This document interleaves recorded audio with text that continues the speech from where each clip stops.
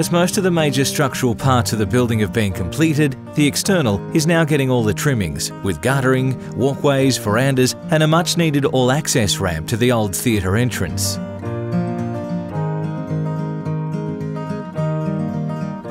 With the theatre refit came the specially constructed smart gantries, which are almost ready to be installed. So the Ararat Arts Precinct project is quite a unique and exciting project for us.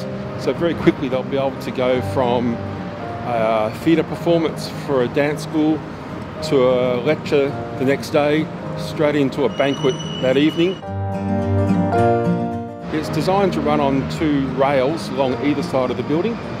The really exciting thing is that the rails that it's going to be sitting on are being affixed to the existing building structure, which is over 100 years old.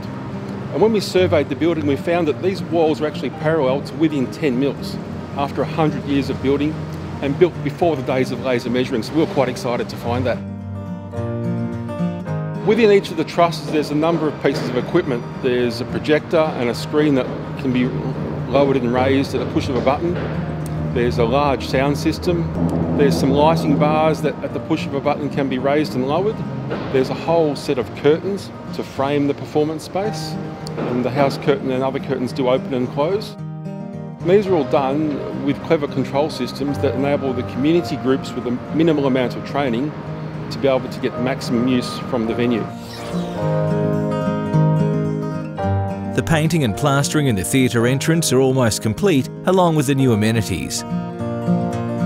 There's still more plastering to be completed in the new cafe and gallery spaces, and of course, all the electrical work before the final coats of paint go on. Stay tuned for more video updates on this exciting project.